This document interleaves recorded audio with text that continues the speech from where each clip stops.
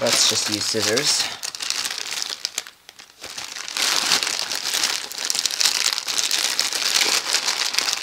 Do we need to? No, I'm gonna rip it.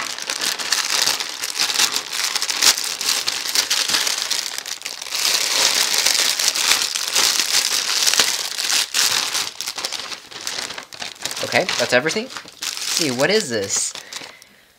Outdoors area. Looks looks like a ad of some kind for shopping. Ah, I know what this is. Right, so this is a t-shirt, but it's interesting. This is the sound activated t-shirt. It uses uh, slower, so when it detects sound or sound waves, um, when it hears the vibrations, the LEDs automatically change. It's kind of like an equalizer. It is an equalizer, except it's on your t-shirt. So it's a um, battery-operated t-shirt. It looks kind of cool. There's a lot of designs. You can even get the Tron design, and you can also get stuff like um, Iron Man design with the circular Iron Man chest and it lights up uh, LED. So it's an LED backlit t-shirt with batteries and reacts to sound and it's really cool because it's a digital t-shirt basically. Um, this is interesting. Uh, we'll definitely have a full review on this on our website.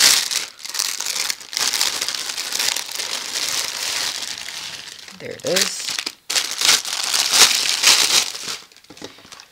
Okay, so the actual um, light up part looks like a vinyl board, kind of. It looks like it's just uh, looks like the equalizer part. In order to to wash a t-shirt, the t-shirt itself is just a black uh, cotton t-shirt. You need to pry this off in order to wash it. It's just made out of vel Velcro, and um, you just lift this up. Careful not to damage um, any boards that, and wires connecting it to the other parts of the t-shirt on the bottom there, I guess.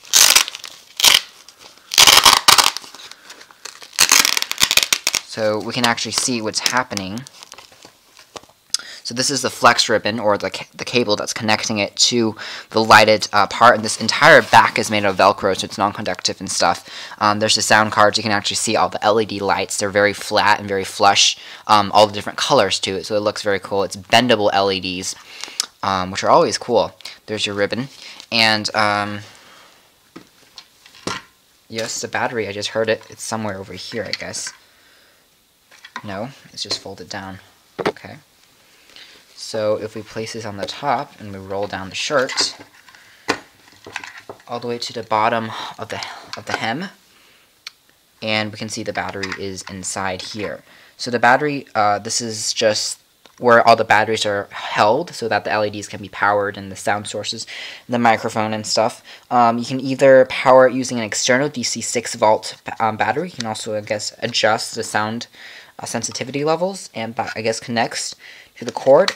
And it runs on four AAA batteries, which is good. Um, it's very lightweight. It's very small, so you probably won't probably won't even feel this on you, which is definitely something you want. And, um, see if I can even close it properly. This is interesting. Maybe I need to put in the battery first. Um, we will, so it's probably just there. Um, there's also a loop. It doesn't look like it's a belt clip, though I guess you can also clip it on. There is a LED that that turns on if you if this uh, if there's battery inserted and very blank, very generic, and actually the actual wires run along the side of the t-shirt and uh, they come out the other end like so and the LEDs will connect to the top of the uh, the um, jack. I'm not sure if there is a angle I need to worry about in terms of putting this in. I think it's like so. We'll see. Yes, it is. And it fits in with a tight connection. And also, there happens to be a belt clip, so I was wrong. Um, I guess the belt clip attaches, it's an optional belt clip that you would slide in, and you can slide out, and it just attaches like so. So that's the LED uh, light up t-shirt. It's a very interesting uh, concept. We've got a links in our description and you can check this out. We'll be back with a full review and part two.